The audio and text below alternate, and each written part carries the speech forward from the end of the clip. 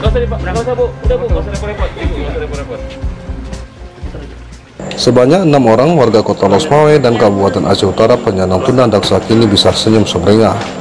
Para penyandang cacat penderita lumpuh pada kaki itu menerima bantuan kursi roda gratis dan sembako dari TNI Korem 01 Lilawangsa Jumat 23 Juli 2021. Ada sedikit bantuan juga. Kepedulian sosial kemanusiaan hingga saat ini sangat dibutuhkan masyarakat.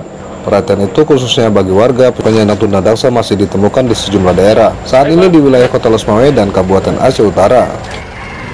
Tentunya setiap manusia tidak menginginkan hal itu terjadi, namun takdir berkehendak lain. Sebagian saudara kita menerima ujian yakni mengalami penyandang tunadaksa atau disebut mengalami lumpuh pada kaki yang didasari berbagai penyebab. Bisa saja itu terjadi akibat sakit, kecelakaan hingga faktor usia, bahkan mengalami mulai sejak kecil.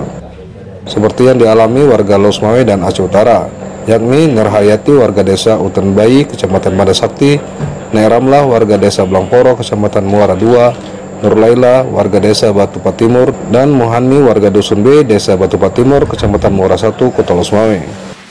Selain itu juga dialami Rusna Hasbala, warga Dusun Pintu Makmur, desa Belang Dalam Baro, Isam, dan Nuraini, warga desa Baro, Belang Dalam, Kecamatan Isam, Kabupaten Aceh Utara. Ya bu ya, semoga ini bermanfaat buat ibu. Buat pagi-pagi jalan atau sore. Tapi didorong sama ini. Gitu bu ya. Mengetahui laporan dari para babisa di daerah, Satuan Korem 011 Lilawangsa turut menyalurkan bantuan sebanyak 6 kursi roda. Hal itu dilakukan merupakan kegiatan sosial kemanusiaan kepada masyarakat, yakni masyarakat duapa, penyandang tunadaksa, cacat penderita lumpuh pada kaki, akibat stroke, pembengkakan jantung maupun lupus. Bantuan kursi roda dan sembako diserahkan langsung oleh Komandan Korem 011 Lilawangsa, Kolonel Infanteri Sumirating Baskoro, dan Kasrem 011 Lilawangsa, Letkol CJI Emery Dahas. Dan berharap bantuan kursi roda ini dapat bermanfaat dan bisa membantu aktivitas agar tidak hanya berbaring di tempat. Apalagi di saat masa pandemi ketika ketidakmampuan ekonomi menjadi kendala. Di sela kegiatan tersebut, Kecik Belang Dalam, Baro Nisam, Kecamatan Nisam, Kabupaten Aceh Utara, Saipun Dani menyampaikan rasa terima kasihnya kepada pihak TNI, khususnya Korem 011 Lilawangsa yang telah peduli membantu warganya. Saipun Dani mengaku bahwa pemberian bantuan ini baru pertama kali, sebelumnya belum pernah dilakukan oleh instansi maupun pemerintah setempat. Ya, dua orang. Yang satu Nuraini, yang satu Ros Husna. Selama ini Husna. mungkin eh, bantuan atau pedulian dari pemerintah sendiri Pak Baru kali ini, Pak. yang dilakukan oleh, TNI ya? Iya, iya. Terima kasih kepada Darrem.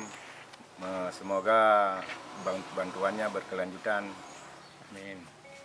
Sementara itu, wajah sumringah terlihat pada penyandang stabilitas tunadaksa. Saat ini menerima bantuan kursi roda gratis dari Korem 011 Lilawangsa. Salah satu warga penerima kursi roda dari Korem, Nuraini, 62 tahun, warga desa Baro Belang Dalam, Kecamatan Nisam, Kabupaten Aceh Utara, mengatakan ia tidak menduga kehadiran TNI untuk membantu memberikan kursi roda. sakitnya sudah lama? Udah umur 8 bulan. Bulan, umur 8 bulan yang yang enggak yang enggak ada. Udah itu tapi Dari umur 8 mau umurnya tuh udah udah 6 tahun 6 62. Sekarang 62.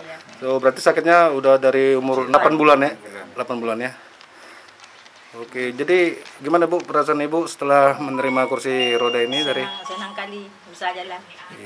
Kursi roda. Alhamdulillah. Alhamdulillah. Terima kasih Pak bantuannya. Dari Pak Kasren.